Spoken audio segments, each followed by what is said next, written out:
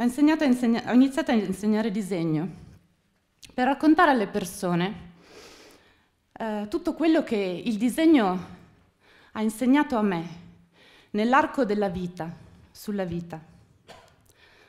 Sono qui per dirvi che saper disegnare è qualcosa che va ben oltre il fare un bel disegno. Il disegno è una porta verso la conoscenza di se stessi e del mondo ed è anche un linguaggio infinito, illimitato, alla portata di tutti. Il tema di oggi è tornare a crederci. Io vorrei invitarvi a tornare a credere alla possibilità di meravigliarvi di voi stessi. Magari perché no, attraverso il disegno. Perché questo? Perché le parole degli altri a volte ci frenano. Quante volte magari abbiamo sentito dire, quando eravamo piccoli o perché no anche da adulti, che disegnare è una cosa stupida o è un'attività inutile, che non può essere un lavoro. E quante volte ci siamo sentiti dire la frase non sei capace, non necessariamente nell'ambito del disegno.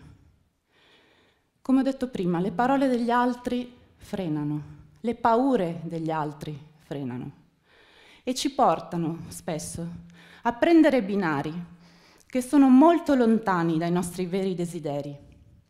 Il disegno nella pratica continua, scusate, nella pratica continua ci mostra com'è possibile superare noi stessi, superare le nostre stesse aspettative per raggiungere dei risultati che sono sconvolgenti, ci fanno meravigliare. E quindi il disegno rimane una grandissima metafora di quella che può essere la nostra esperienza di vita. Questi sono disegni di alcuni miei allievi. I miei allievi vanno dai 13 anni ai 70 anni. Ed è bellissimo vedere come una persona intraprende un percorso e si meraviglia del suo cambiamento.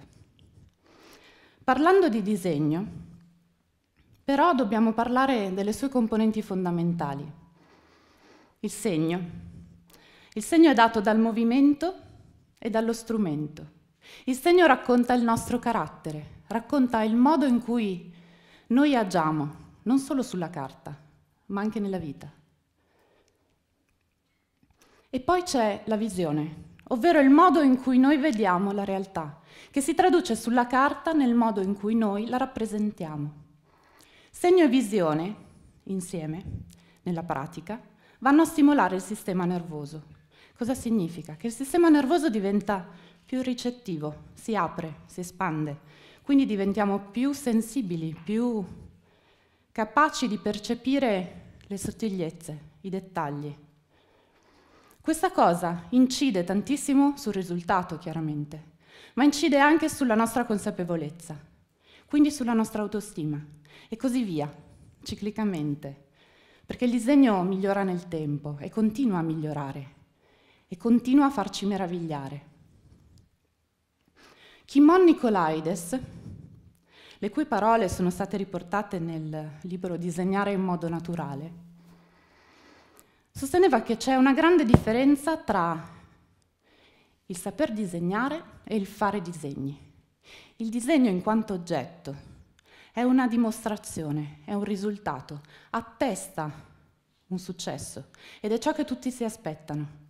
Ma ciò che conta veramente è quel percorso meraviglioso che ci conduce ad affinare la nostra consapevolezza nei confronti della vita. Quindi cambia il nostro modo di osservare e di vivere la vita nel disegnare. Parlando di cose concrete, il disegno quindi migliora il nostro modo di vedere la realtà così com'è. Migliora la nostra capacità di utilizzare il corpo e il movimento in modo funzionale. Ci dà la capacità di sintesi, ovvero di trovare nella realtà l'essenziale. Però fa bene anche alla progettazione. Cosa significa? Noi possiamo partire da una realtà preesistente, elaborarla per generare una nuova realtà.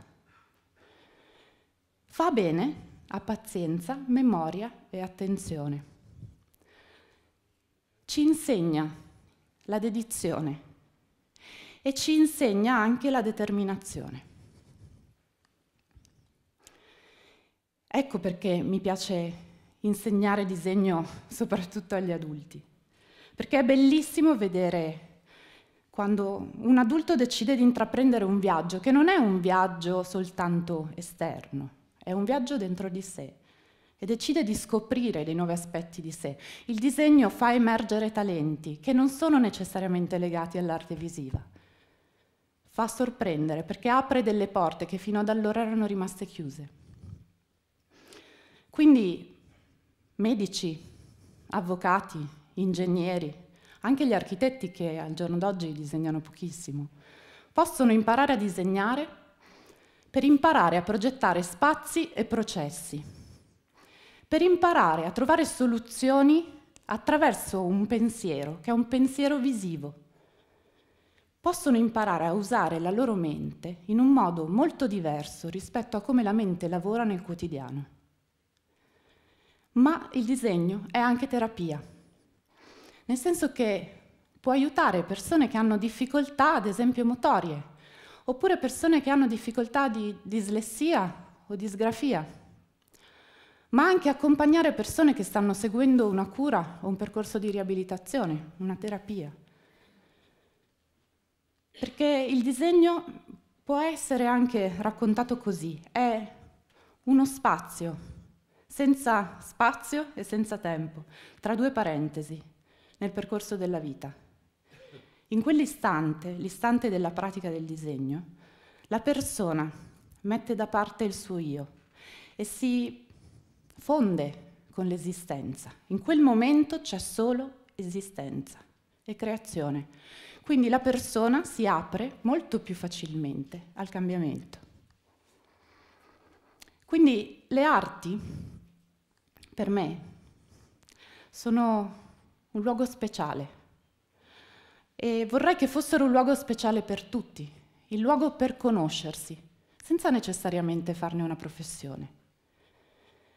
Per me sono uno spazio carico di dignità che tutti dovrebbero imparare a comprendere e accettare in questo senso, dagli adulti ai bambini, ma dico soprattutto gli adulti perché sono gli adulti che poi accompagnano i bambini nel loro percorso, prendono delle decisioni per loro.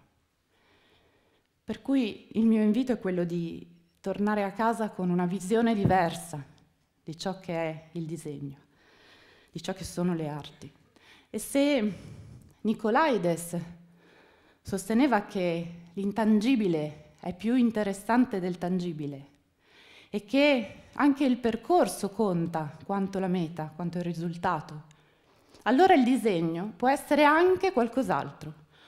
Può staccarsi da ciò che è rappresentazione per farsi puro segno, per diventare performance, qualcosa che racconti un'azione, un'esperienza, quindi una sorta di mappa che racconta un istante di esperienza. Lui è Paolo Gozzetti e Stiamo... Ora andremo a raccontarvi qualcosa. Grazie.